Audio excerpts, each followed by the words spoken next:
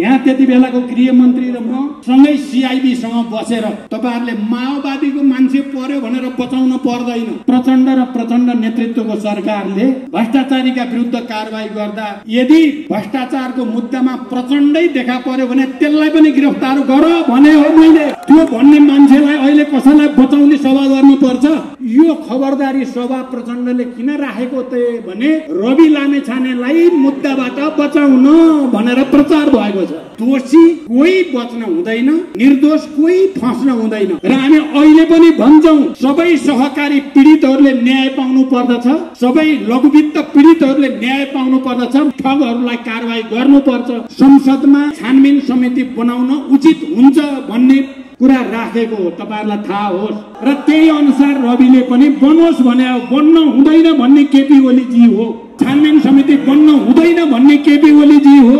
रविलाई हर हालतमा बचाउनै पर्छ भन्ने केपी ओली हो। गम्भीर गल्तीको नाम उल्लेख भएका नेकपा एमालेसँग सम्बन्धित व्यक्तिलाई चाहिँ छानबिन गर्न नपर्ने गिरफ्तार गर्न नपर्ने नेपाली काङ्ग्रेसको पनि नाम छ त्यहाँ। त्यो नामलाई केही गर्नु नपर्ने राजनीतिक पूर्वाग्रहले मात्रै प्रतिपक्षलाई मात्रै गिरफ्तार गर्ने तरिका जो छ सरकारको बेठिक छ हामीले भनेकै हो। केही धुलो मैलो हामीलाई लागेकै थियो। हामीलाई एउटा मौका चाहिएको छ।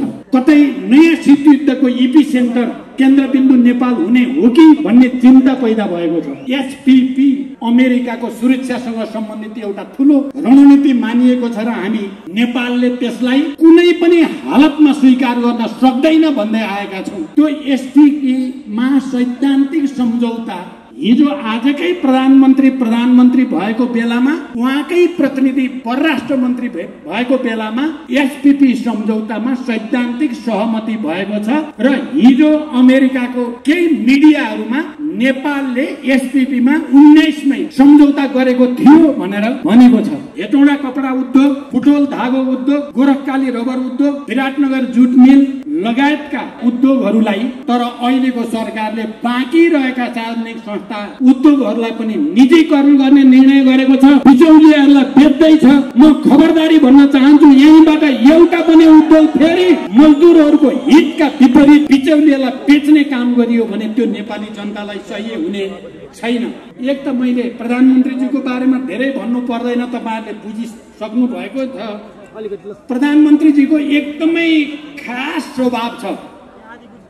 अरूले गर्नुहुन्न भनेपछि त्यो नगरी नहुने। कहीँ न कहीँ भत्काउनै पर्ने मिच्नै पर्ने शक्तिको दुरुपयोग गर्नै पर्ने बडो विचित्रको स्वभाव छ। खासमा आत्मसमीक्षा गर्ने मेरो गल्ती भयो भन्ने कहिल्यै उहाँले देख्नुहुन्न त्यस्तो स्वभाव छ। अपराधलाई पनि उहाँले उत्सवको रूपमा मनाउने गर्नुहुन्छ त्यो पनि उहाँको विचित्रको स्वभाव छ। अपराध सधैँ कमजोर हुन्छ। चाहे त्योसँग जतिसुकै धेरै सङ्ख्या किन नहोस् यो सय दिनमा प्रमाणित भइसकेको छ।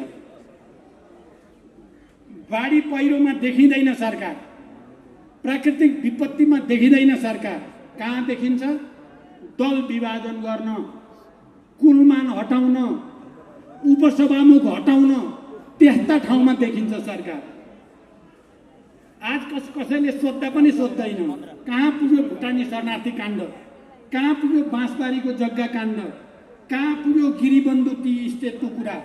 कहाँ पुग्यो बाल मन्दिर काण्ड? अनि किनकि सबैलाई थाहा छ यो काण्ड खोतल्न होइन। काण्ड मिलाउन आएको सरकार हो। आज हामी यो खबरदारी गर्न सडकमा छौँ कि देश का एमाले र काङ्ग्रेसको वीरता होइन? सङ्ख्याको प्राविधिक बलमा जस्तासुकै अपराध गरे पनि हुन्छ भन्ने कसैलाई लागेको भए तिनले त्योभन्दा माथि जनताको अदालत छ भन्ने बुझुन्। सबभन्दा ठुलो अदालत जनताको अदालत हो भन्ने कुरा तिनीहरूले बुझुन्। हिजो हामी जनयुद्धमा हुँदा हामीसँग केही पनि थिएन। तर विचार र सङ्कल्पले हामी सबै चिज प्राप्त गर्ने ठाउँमा आइपुग्यौँ। सरकारलाई केले चलाएको छ? बिचौलियाहरूको दबाव र प्रभावले। पछिल्लो निर्णय सुन्नुभयो होला। बचे खुचेका उद्योगहरू पनि अब सरकारले निजीकरणका नाममा स्वार्थ समूहहरूलाई सुम्पिँदैछ। जथाभावी नगर जवाब माग्न हामी तयार छौँ। संसदको रोस्टममा मात्र होइन परिआएमा सडकमा ल्याएर पनि जवाब माग्नेछौँ। तिमीहरूलाई के लाग्छ? तिमीहरूलाई के लाग्छ? माओवादी मर्यो भन्ने लाग्छ। जे गरे पनि हुन्छ भन्ने लाग्यो। जवाब दिन पर्दैन हामीले भन्ने लागेको छ। संसदको रोस्टमा भद्र तरिकाले मागिन्छ तिमीहरूसँग जवाब। धेरै अभद्र भयो भने सडकमै घिसारेर सडकमै अभद्र तरिकाले मागिन्छ जवाब। तिनको छानुमाथि उभिएको एउटा परिवारले काठमाडौँको मुटुमा चार घन्टासम्म उद्धार पाएन। त्यहाँ केवल परिवारको ज्यान गएको होइन त्यहाँ मरेको सरकार हो। मरेको सरकार हो। यिनीहरूको सरकारले यो सय दिनमा सत्तरी सत्तरी नम्बर ल्यायो अरे। सत्तरी मार्च ल्यायो अरे। मैले भनेको होइन यिनीहरूले आफैले भनेको। प्रधानमन्त्रीजीले भनेको। बन्द कोठामा होइन पुरा क्याबिनेटमा देशवासीका नाममा भनेको। अहिले नै सत्तरी भएपछि सरकारको सय नम्बर कस्तो होला सोध्नु भएको छ? मैले निरन्तर भन्दै आएको छु संसदको पहिलो दल नेपाली कङ्ग्रेस र दोस्रो ठुलो दल एमालेलाई विश्वास आदर्श र राजनीतिक उद्देश्यले जोडेको होइन सुशासनको डरले जोडेको छ। प्रतिगमन र निरन्तरताको चिन्ता चिन्ता घरि दल विभाजन गर्न खोज्छन् घरि उपसभामा घटाउन खोज्छन् संविधानमाथि छेडछाडको चिन्ता जनताको लामो सङ्घर्ष र ठुलो बलिदानबाट प्राप्त अधिकार खोज्ने चिन्ता नियत सफा भए पहिलो र दोस्रो दल मिल्न अँध्यारो कोठा खोज्नै पर्दैन थियो। त्यसकारण अन्तिममा म के भन्न चाहन्छु भने एमाले नेतृत्वको सरकारलाई तपाईँहरूले आजभोलि केपिजीले बेला बेलामा भन्नुहुन्छ दुई तिहाई छ हामीसँग। तपाईँले खास गरी केपिजीले यो दुई तिहाईको कुरा गरेको बिल्कुल सुहाउँदैन। किनभने नेकपा एक्लैको दुई तिहाई थियो त्यति बेला उहाँ प्रधानमन्त्री आफ्नै दुई तिहाईकोमा पञ्चरो हान्ने नेताले काङ्ग्रेसको बैशाखीको दुई तिहाईको धाग दिन मिल्छ। आफ्नै दुई तिहाई हुँदा हुँदै संविधान मिचेर संसद विघटन गर्ने र त्यो दुई तिहाईलाई प्रहार गर्नेले काङ्ग्रेसको बुई चढेर मेरो दुई तिहाई छ भने कति लाज मर्दो त्यसकारण सङ्ख्या होइन सत्य ठुलो कुरा हो सङ्ख्या होइन जनता ठुलो कुरा हो। हामी सत्य र जनताको पक्षमा छौँ हाम्रो जित हुन्छ। आज छोटो समयको सूचनामा तपाईँहरूको यो अपार उपस्थिति र उत्साहले हामीलाई एउटा नयाँ ऊर्जा दिएको छ एउटा नयाँ आन्दोलनको निम्ति एउटा नयाँ अभियानको निम्ति। हामी हतारोमा छैनौँ तर जनतासँग मिलेर एउटा नयाँ अभियान मार्फत समाजवादको आधार समाजवादी क्रान्तिको आधार तयार पार्ने सङ्कल्पमा छौँ। यसलाई कसैले खेलाची नठानोस्। म तपाईँहरू सबैलाई अब अन्तिममा यही अपिल गर्न चाहन्छु यो खबरदारी सभालाई अब देशका सबै पालिकामा देशका सबै वडामा हामी कार्यक्रम बनाएर पठाउनेछौँ। विशाल खबरदारी सभा देशभरि गरेर अनि अन्तिममा जरुरी परेर सरकारले न्यु खोज्यो भने हामी सदनभित्र विशेष अधिवेशनको माग गर्नेछौँ। हामीसँग त्यो सङ्ख्या चाहिँ छ। हामी थोरै भए पनि विशेष अधिवेशन माग्ने सङ्ख्या हामी विपक्षीहरूसँग छ।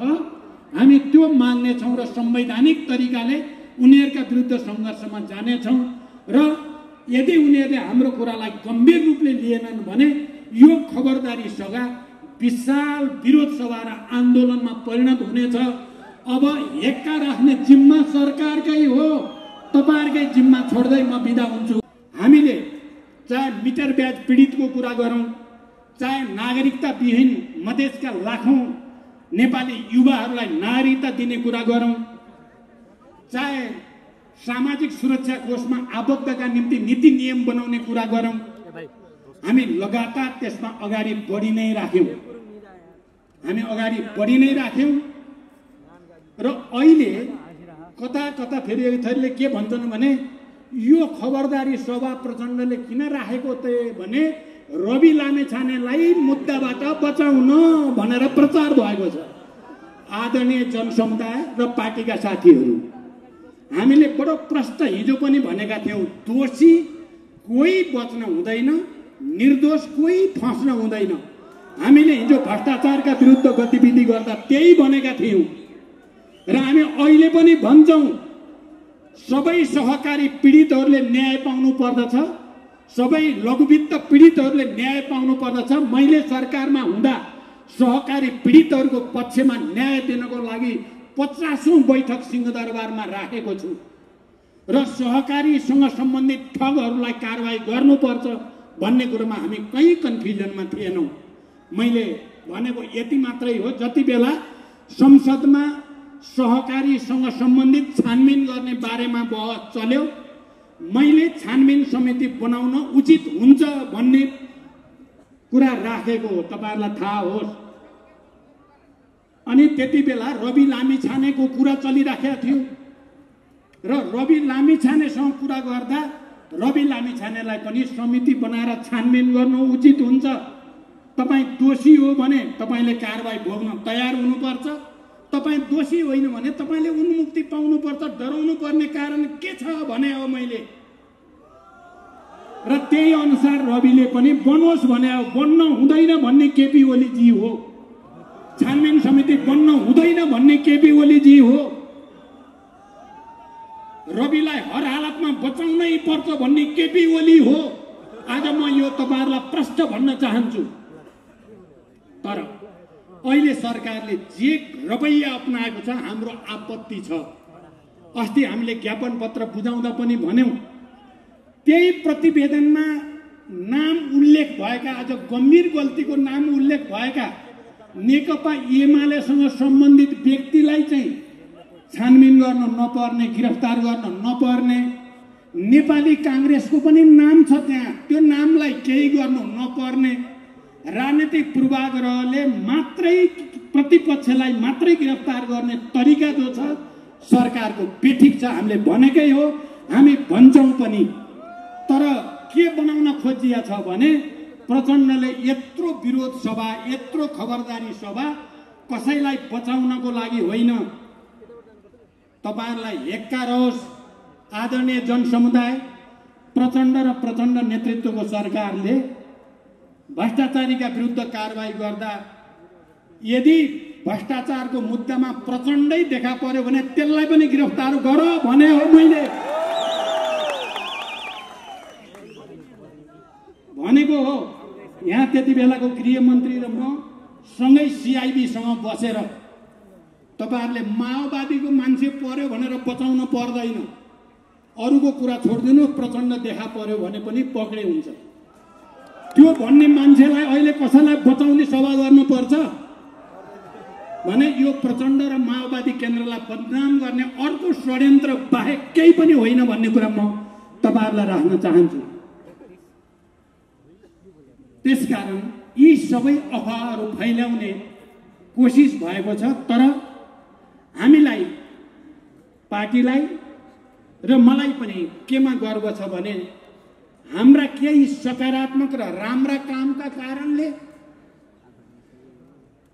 र एमाले र काङ्ग्रेसका नराम्रा कामका कारणले जनताले एकचोटि माओवादीलाई फेरि हेर्न पर्ने ठान्यो हामीलाई गर्व छ। हामी खुसी छौँ। जनतालाई हामी विशेष रूपले बधाई भन्न चाहन्छौँ। हामी केही धुलो मैलो हामीलाई लागेकै थियो। हामी हामीभित्रको धुलो मैलो पखाल्न चाहेका छौँ। हामीलाई एउटा मौका चाहिएको छ। माओवादी बलियो भएन भने अहिले तपाईँ हामीले देखेका छौँ।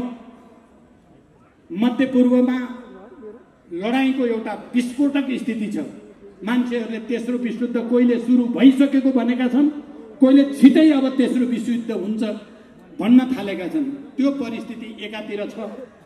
भने नेपालको भू राजनैतिक अवस्थितिका कारणले यदि हामी नेपाली जनता सजग भएनौँ सङ्गठित भएनौँ हामी जागरुक भएनौँ हामी आन्दोलित भएनौँ भने नेपाल नेपालको राष्ट्रिय स्वाधीनता नेपालको भौगोलिक अखण्डता खतरामा पर्ने स्थिति दिन प्रतिदिन बढेको छ।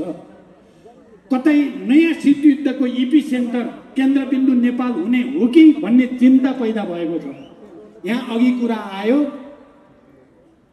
एसपिपी जसलाई अमेरिकाको सुरक्षासँग सम्बन्धित एउटा ठुलो रणनीति मानिएको छ र हामी नेपालले त्यसलाई कुनै पनि हालतमा स्वीकार गर्न सक्दैन भन्दै आएका छौँ।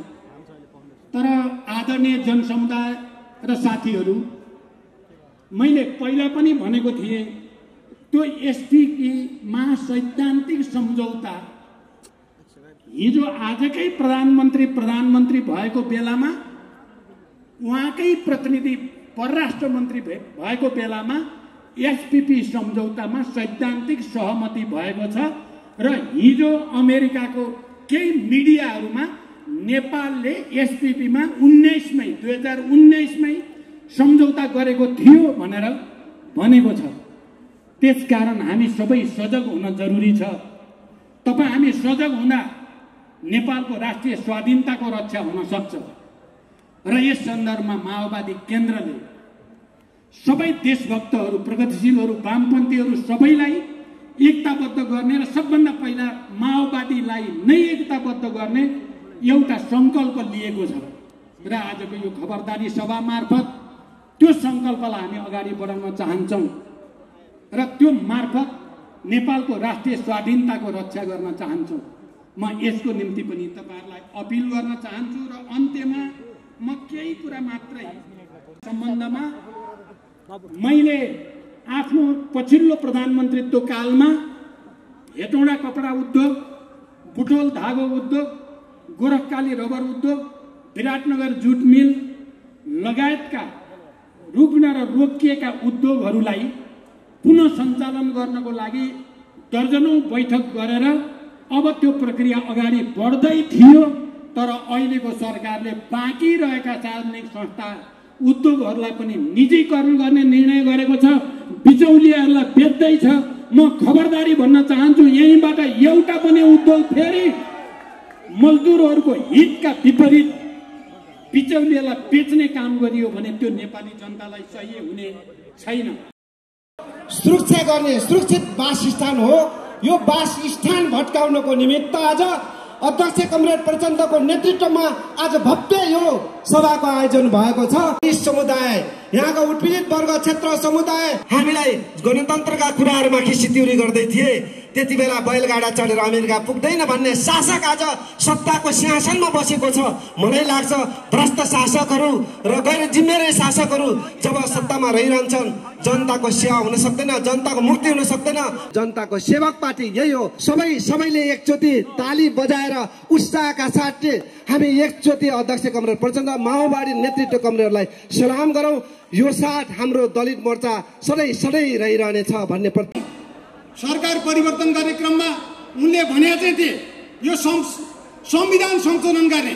उहाँहरूले ठान्ने हुनुहुन्थ्यो यो अहिलेको संविधानभित्रको समस्या भनेको स्थायित्वको समस्या हो। स्थायित्वको समस्या भनेको समानुपातिक समावेशीको समस्या हो। त्यसमाथि उहाँहरू लक्षित गर्न खोजिराख्नु भएको थियो। र यही बिचमा यो अभियान यो अभियानमा जो समावेशी र समावेशी र समानुपातिको जुन मुद्दा माओवादीले उठाएर आएको चाहिँ त्यो त्यसैमाथि आक्रमण सुरु गर्ने र यो संविधान संशोधन गर्ने प्रयत्न उहाँले गर्दै हुनुहुन्थ्यो। दुन गएको हो र मैले दुध ल्याएर दिनु भन्ने जस्तो गैर जिम्मेवार अभिव्यक्त दिने प्रधानमन्त्रीको हैसियत होइन तपाईँको हैसियत मेन्टेन गर्नु यो चाहिँ हाम्रो खबरदारी यो देशमा यो देशमा सबै भएका भ्रष्टाचारीहरू यो देशका नागरिकलाई अनागरिक बनाएर यो देशका जनतालाई भुटानको नागरिक बनाएर अमेरिकामा बेच्ने ती दलालहरूको विरुद्धमा माओवादीले उठान गरेको कदमलाई अगाडि बढाउनुहोस् त्यसलाई नरोक्नुहोस् यसको खबरदारी हो। यो देशमा सबै इतिहासमा नभएको सहकारीमा भ्रष्टाचार भएको छ। तर तपाईँको काँधमा तपाईँको काखमा दुईपट्टि एउटा नेपाली काङ्ग्रेसको नेता धनराज गुरुङ एकापट्टि ऋषिकेश पोखरेललाई राखेर अरूलाई मात्रै कारवाही नगर्नुहोस् तिनलाई पनि लगाएर जेल हाल्नुहोस्। यो हो हाम्रो खबरदारी अभियान। हामीले भनेको खबरदारी यो हो। यो हामीले खबरदारी मात्रै गरेका हौँ। माओवादी पार्टी यो देशमा हिंसात्मक पार्टी होइन। न्यायपूर्ण युद्ध गर्ने योद्धाहरूको पार्टी हो। योद्धाहरू मरेका छैनन्। ख्याल गर्नु होला बन्दुक बिसाएको हो। हामीले सशस्त्र हिंसालाई सशस्त्र आन्दोलनलाई सशस्त्र विद्रोहलाई आम नेपाली जनताको न्याय र सामाजिक न्यायमा रूपान्तरण गरेर एउटा आम जनताको रेस्पेक्ट दिएको हो। आदरणीय अध्यक्ष कमरेड यही हुनुहुन्छ। इतिहासमा यो देशमा नेपालको भौगोलिक एकीकरण गर्नको निमित्त पृथ्वीनारायण शाहले आम नेपाली जनताको भाषामाथि आत्मसम्मानमाथि उनीहरूको आफ्नो चाहिँ स्वाभिमानमाथि चाहिँ तरबार लगाउनु भयो तर नेपालको भौगोलिक एकीकरण भयो। दुई सय चालिस वर्षदेखि नेपाली जनता जुन आहातमा थिए आत्मसम्मान गुमाएका थिए ती आम नेपाली जनताहरू देशमै देशविहीन भएका थिए। मान्छेलाई छोडेर देशमा माटोको मात्रै कुरा गर्थ्यो त्यो माटोलाई माटो सहितको भावना जोड्ने। यो देशलाई मान्छेहरूको पनि देश हो। यो देश आम दलित आदिवासी जनजाति महिला सबैको देश हो भनेर चिनाउने अर्को एकीकरणकर्ता नेकपा माओवादी केन्द्रका अध्यक्ष कमरेड प्रचण्ड अहिले पनि जिउँदै हुनुहुन्छ तपाईँहरूलाई खबरदारी। यो देशमा इतिहासमा कसैले भनोस् या नभनोस् कसैले मानोस् या नमानोस् इतिहासले मान्छ यो देशको गणतन्त्रको नायक निर्विकल्प अध्यक्ष कमरेड प्रचण्ड हुनुहुन्छ। म यो खबरदारी सभामा यो गणतन्त्रका नायक युग नायक नेकपा माओवादी केन्द्रका अध्यक्ष पूर्व प्रधानमन्त्री आदरणीय कमरेड प्रचण्डलाई आफ्नो महत्वपूर्ण